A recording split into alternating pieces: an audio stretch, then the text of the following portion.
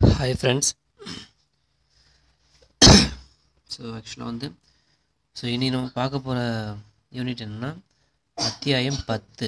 ஓகேங்களா ஸோ பத்தாவது அத்தியாயம் பார்க்க போகிறோம் ஸோ இந்த பத்தாவது அத்தியாயத்தை பொறுத்த வரையும் ஸோ இது இந்த ஸ்தர் ஹூக்கு அப்புறம் இந்த ஸ்தவ ஸ்த ஸ்தர் ஸோ இதை பற்றின நிறைய விஷயங்கள் கற்றுக்கலாம் ஓகேவா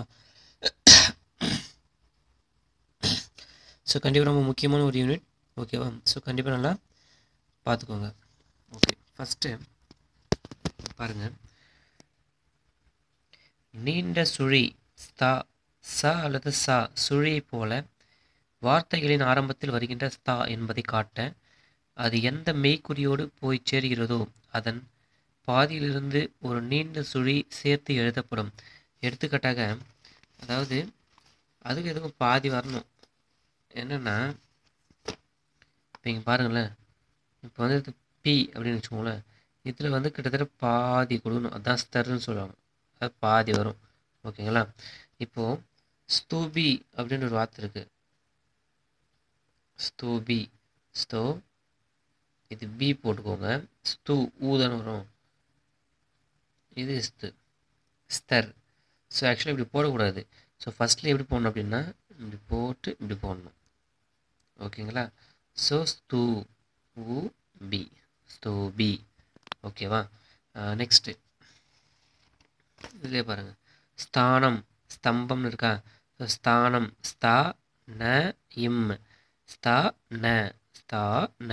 ஓகேங்களா ஸ்தம்பம் ஸ்த இம்பு. இம்பு இம். ஸ்தம்பம் ஸ்த இம்பம். ஓகே நெக்ஸ்ட் ஒன் டுவெண்ட்டி பாருங்கள் ஸ்தாவை தொடர்ந்து சுழி அல்லது கொக்கியுள்ள மெய்க்குறிகள் வந்தால் ஸ்தா நீண்ட சுழி போடாமல் முழுவதும் எழுதப்படும். அதாவது இந்த ஸ்தர்வுக்கு அப்புறம் வந்து ஏதாச்சும் இந்த கொக்கி போகிற மாதிரி வந்துச்சு அப்படின்னா ஸோ அந்த இடத்துல வந்து நம்ம ஃபுல்லாக தான் யூஸ் பண்ணணும். இங்கே பாருங்கள் ஸ்தாயி. ஸ்தானு. ஸ்தா. எஸ் எத் இத்து.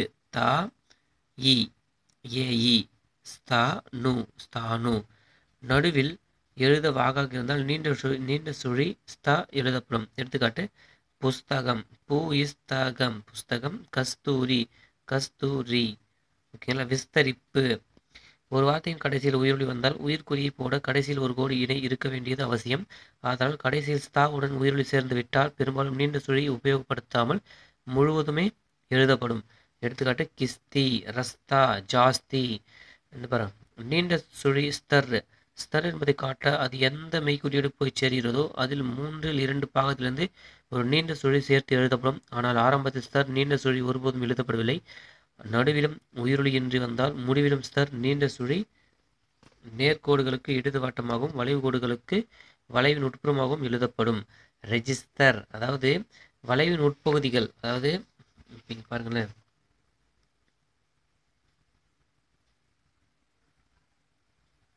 ரெஜிஸ்டர்னு இருக்கா?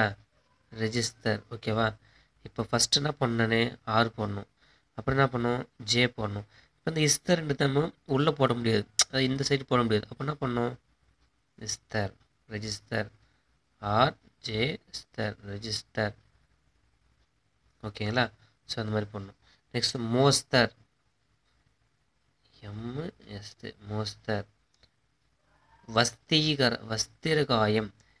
வா இஸ்து க எம் வஸ்திரகா வஸ்தி ர க எம் ஓகேவா நெக்ஸ்ட் இங்கே பாருங்கள் கடைசியில் எழுதப்படும் நீண்ட சுழிக்கு பின் இம் சுழிக்கில் கண்டபடி சேர்த்து எடுத்துக்காட்டு ஹஸ்தம் வஸ்திரம்.